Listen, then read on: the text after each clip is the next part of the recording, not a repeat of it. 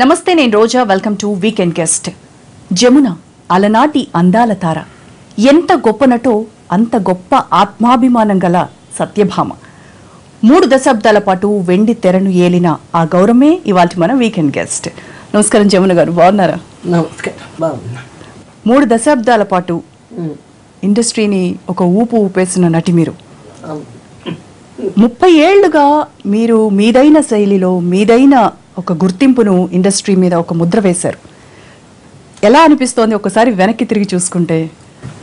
వెనక్కి తిరిగి చూసినప్పుడు నిజంగా మాట్లాడితే అలనాటి ఈనాటి మనల్లో ఇన్ని వెరైటీ క్యారెక్టర్లు వేసిన వాళ్ళు.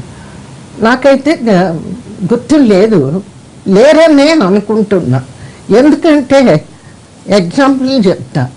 మిస్సమ్మ చిన్ననాటి మిస్సమ్మ తీసుకుంటే మిస్సమ్మలో ఒక అమాయకపు జమీందారు పిల్ల. నేను చద్దన్నం తినొచ్చానుగా అనేటువంటి అంత అమాయకురాలు. దాంట్లో గారాబం ముచ్చట. ఆ ఏజ్కి తగినట్టు తగినట్లు క్యారెక్టర్. ఇక మొగ మనసులు. అన్ని వెరైటీ ఆఫ్ ఎక్స్ప్రెషన్స్. ఒక తనం ఒక పక్కన పొగరబోతను ఒక పక్కన ఆ, చిలిపితనం మొండితనం అల్లరి పెళ్ళి చేసుకోమని వెంటపడి హీరో వెంట వెంటపడే క్యారెక్టరు. ఆఖరిన అన్ని వెరైటీ ఎక్స్ప్రెషన్స్తో ఒక త్యాగమూర్తిగా మలిచారు ఆ క్యారెక్టర్. అట్లాగే సత్యభామ. సత్యభామ సత్యభామకి అంటే మారు పేరు ఇంకా జమున. సత్యభామ జమునే. సత్యభామ అప్పుడు సత్యభామ అని పేరు వచ్చింది. అంత ఆత్మాభిమానం వారియరు. సత్యభామ ఇది నాట్ ఓన్లీ ఒక అందమైన స్వాభిమానం కల్లో క్యారెక్టర్ ఒకటే కాదు. షీజ్ ఎ వారియర్ ఒక రాజపుత్రిక పొసెసివ్ నేచరు. కృష్ణుడు ఎప్పుడు నావాడే నా దగ్గరే ఉండాలి అనే ప్రేమమూర్తి. వివిధ రకాలైనటువంటి క్యారెక్టర్స్ ఆఖరికి ఇంకా అదృష్టం నేను రిటైరింగ్ స్టేజీలో అదేది ఒక పిల్లవాడిని పెంచుతుంది. ఆ క్యారెక్టర్ హీరోయిన్ వేయమంటే నేను వేయను నాకు హీరోయిన్ వద్దు. నేను గయ్యాడి వేషం సూర్యకాంతమ్మలాగా మ్మ్. గయ్యాళి క్యారెక్టర్ వేయలేదు. నేను సవతి తల్లిగా యాక్ట్ చేస్తాను అని చెప్పి ఆ చిత్రంలో ఆఖరి గయ్యాడి వేషం వేసి జనం చేత బాగా తిట్టించుకున్నాను ఇన్ని చేశారు కదమ్మా మీరు? ఇంకా అప్పుడు నేను ఇలాంటి పాత్ర చేసుంటే బాగుండేది అని ఇంకా ఏమైనా అనిపిస్తూ ఉంటుందా? ఆ, తృష్ణ ఉందా. ఎందుకంటే ఎన్ని వెరైటీలు చేసిన నాకు ఒక్కటే మిస్ అయ్యాను. ఆ రోజుల్లో నేను యాక్ట్ చేసే రోజుల్లో. ఎందుకంటే సిపాయి కూతురు యాక్ట్ చేశాక అందులో ఒక మారువేషంలో గుర్రం మీద వస్తా. ఒక మగవాడి గెటప్లో మాస్క్ వేసుకొని వస్తానమాట అది చూశాక నాకు అనిపించింది రాణి రుద్రమ క్యారెక్టరు అదొక్కటి వేస్తుంటే జీవితంలో చాలా ఆ ఏజ్లో. ఒక ప్రొఫెషనలిజం కనిపించేది అప్పుడు యాక్టర్స్లో ఒక డెడికేషన్ ఉండేది. అది ఇప్పుడు కొరవడిందా అసలు ఉందా? నామమాత్రంగా అయినా కనిపిస్తోందా? లేదు. అప్పుడు ఏంటంటే ఆర్టిస్టులకి మంచి పాత్ర మంచి కథ. ముఖ్యంగా కథ కంటే కూడా తన పాత్ర ఎలా ఉంది అనేది చూసుకునేవాళ్ళం. మంచి పాత్ర వచ్చినప్పుడు ఆలోచించేవాళ్ళం. ఏ పాత్ర అయినా సరే మంచి వేషాలు సెలెక్ట్ చేసుకోవడం. ముఖ్యంగా ఏంటి అంటే ఆ రోజుల్లో మేము అమాయకంగా ఉండేవాళ్ళం. డబ్బు గురించి కూడా మాకు తెలీదు.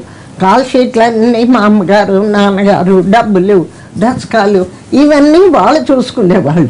ఎంతసేపు మా వేషం ఆ వేషాన్ని ఎట్లా పోషించాలి అన్న ఆలోచన ఉండేది. అందువల్ల మా పాత్రలు కానీ ఎంతసేపు ఒక చీల్ బాగా యాక్ట్ చేయాలి బాగా పేరు తెచ్చుకోవాలి. ఈ సినిమా బాగా ఆడాలి. అనే ఛాన్స్ ఉండేది కానీ ఇప్పుడు ఉన్న సిచ్యువేషన్లో మరి ముఖ్యంగా తెలుగు అమ్మాయిలు లేకపోవడం అదొక డ్రాబ్యాక్ అయిపోయింది. ఉన్న ఒకే ఒక్క అమ్మాయి. నిన్ననే చూశాను.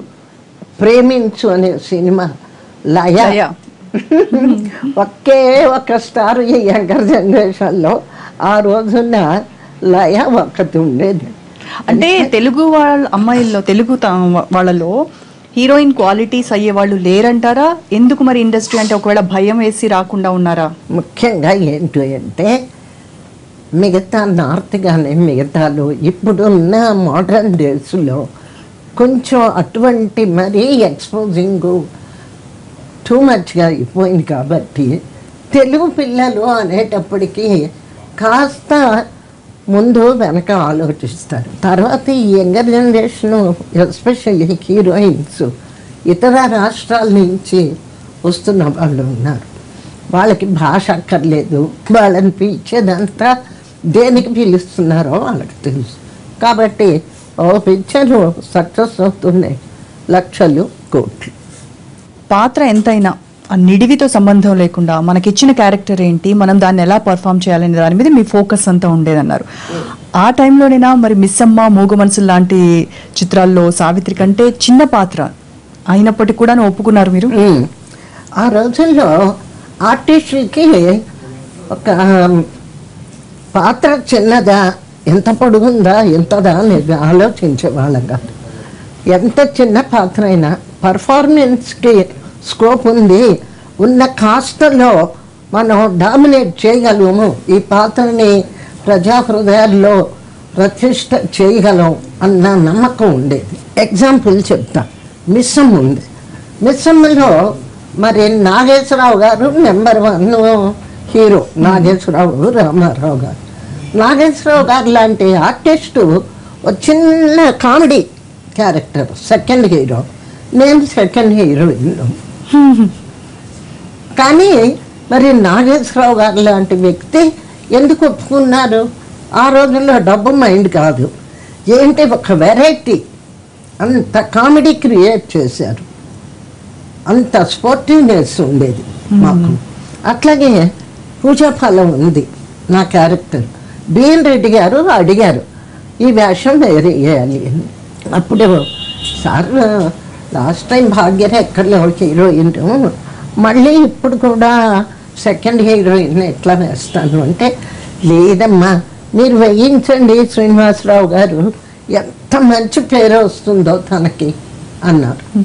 మరి ఆ రోజుల్లో డైరెక్టర్ ఎలివేషన్ అట్లా ఉండేది. వాళ్ళకి తెలుసు ఏ వేషం ఎవరు వేయాలి వేస్తే వాళ్ళకి ఎట్లా పేరు వస్తుంది ఎలా పండుతుంది అని చెప్పి. అలాగే మరి ఆ- వేషం ఎంత బాగుంది. ఆ చిన్న కుక్క పిల్లని పెట్టుకొని చిలిపిగా చిన్న పిల్లలాగా. ఆహా చందమామ. అని అట్లాగంతాను చందమామ చదివారా చిన్న సీన్లు. ఎంత ఇంప్రెసివ్గా ఉందో.